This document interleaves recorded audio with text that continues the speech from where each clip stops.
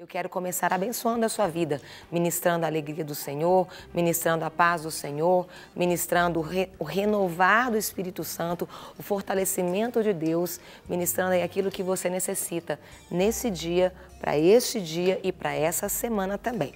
Então, nada melhor do que, sabe o que, Começar pela palavra do Senhor, compartilhando ali aquilo que Deus tem para as nossas vidas. E eu quero hoje trabalhar com você em Isaías 36. Eu estava ali no meu devocional no meu tempo com o Senhor e aquilo que Deus compartilhou comigo, eu quero dividir com você.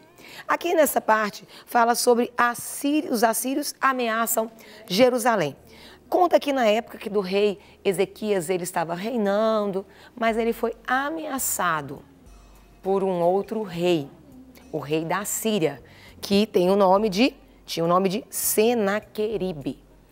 E ele era muito ousado esse Senaqueribe ele chegava, afrontava, ele falava aquilo que ele queria. Às vezes as pessoas chegam e te afrontam e falam aquilo que elas estão querendo. Elas não querem ouvir, não, elas querem dizer o que elas querem, mas não querem ouvir aquilo que precisam. E Senaqueribe era um desses folgados aí, que quer falar tudo que quer, mas na hora de ouvir não quer ouvir. Mas Deus, ele gosta desse, sabe por quê? Porque ele trata na raiz ele trabalha na raiz. E se você for lendo ali Isaías 36, vai contando que Senaqueribe, ele chega para Ezequias, para o povo de Ezequias e começa a ameaçar. E começa a falar, você acha que você vai conseguir me vencer? Você já viu quantos lugares eu já dominei? Você já viu quantas batalhas eu já venci? Quem é o seu Deus para poder fazer alguma coisa? Gente, gente, gente, muito cuidado. Porque quando você mexe com aquele que pertence ao Senhor, você está mexendo com Deus. E Senaqueribe, ele achou que estava podendo. Ele achou que estava podendo. Até se abater, abatido pelo Senhor. E algo interessante que a gente pode observar aqui no texto é que as afrontas vêm, Senaqueribe se acha o tal, às vezes por ter vencido alguma guerra, ter vencido alguma batalha, está bem sucedido em alguma coisa, ele achou que ele estava bom. Às vezes eu e você nós podemos cair nesse, incorrer nesse erro de acharmos que somos bons, de acharmos que damos conta, de que estamos bem sucedidos, esquecemos que é Deus que nos conduz. E algo interessante é que o verso 4 fala o seguinte: o oficial assírio lhe disse: levem para Ezequias essa mensagem do rei da Síria. Olha lá. Em que você está baseado na sua confiança? Será que você pensa que as palavras podem tomar o lugar da experiência minha, da minha força? Olha a fala dele. Quem você pensa que vai ajudá-lo na revolta contra o rei da Síria? E aí ele continua dizendo: ou por acaso vai me dizer que confia no Senhor, o seu Deus? Algo interessante é que nós que fazemos, somos propriedade de Deus, nós não temos que nos preocupar quando as afrontas vêm até nós, porque Deus toma a nossa causa. E quando as afrontas são diretamente a Ele, Ele já entra e resolve tudo. E algo muito lindo foi que Ezequias, ele não confrontou não chegou lá em embate com o rei da Síria, não. Sabe o que ele fez? Ele pegou aquela afronta e foi orar ao Senhor. E apresentou aquela situação a Deus. Eu não sei o tipo de afronta que você tem passado. Eu não sei o tipo de humilhação que você tem passado. Humilhações não condizentes com a sua alma, porque tem gente que tem a alma ferida e tudo ela se sente humilhada. Não é isso, não. Eu estou falando afrontas pessoas que duvidam daquilo que você tem vivido, pessoas que têm te envergonhado. Eu não sei aquilo às vezes que você tem passado, mas eu sei que se você pertence a esse Deus Todo-Poderoso, preocupa não. Faça como esse rei. Pegue aquela afronta e apresente para o Senhor. E o Senhor, ele consulta Isaías e o Senhor dá uma resposta para ele. Fala com ele que ele não vai vencer, não. Fala com ele que ele mexeu foi comigo. E sabe o que, que aconteceu? O rei da Síria, ele perdeu a guerra.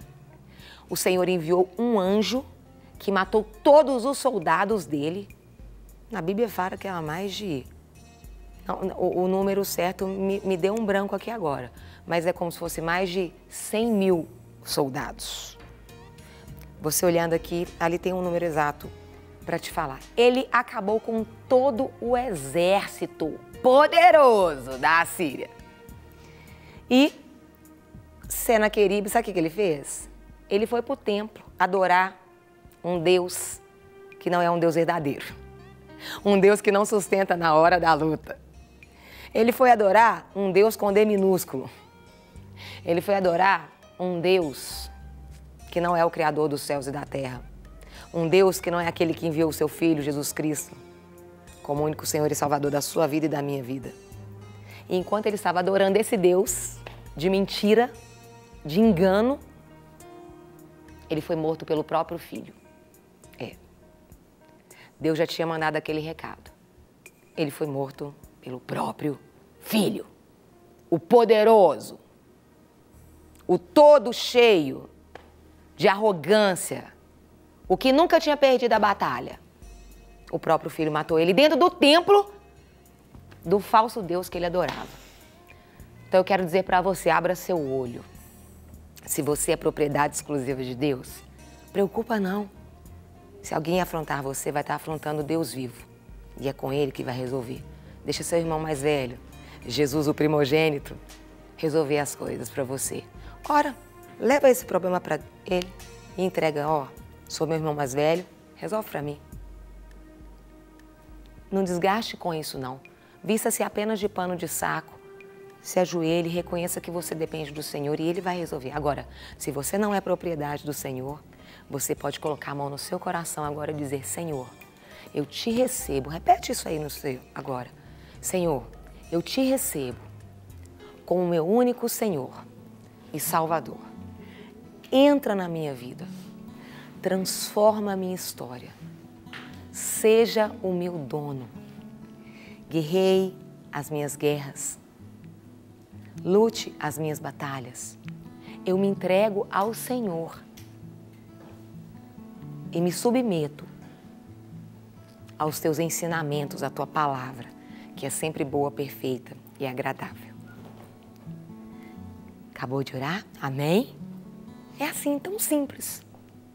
E agora, caminhar segundo o que a Bíblia nos ensina. Porque para servir a Deus precisa de conhecer a Bíblia.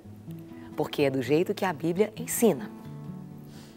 Então eu quero dizer para você: se você não é propriedade exclusiva de Deus, muito cuidado. Porque realmente o exército da Síria vai te destruir. Mas se você é propriedade exclusiva de Deus, não preocupa não. Porque o Senhor, ele abate o arrogante. A soberba precede a ruína e quem mexer com você está mexendo com Deus, ok? Então, entrega para o Senhor, deixa Ele resolver, porque Deus mata os soldados, Deus permite até que o filho vá lá e mate o pai. Muito cuidado. Muito cuidado com quem você está afrontando e muito cuidado, você que está recebendo a afronta, sofre antes da hora não. Amém? Para receber todas as novidades do canal, inscreva-se e se curtir o vídeo, clique em gostei. Aproveite para acompanhar a Rede Super nas redes sociais.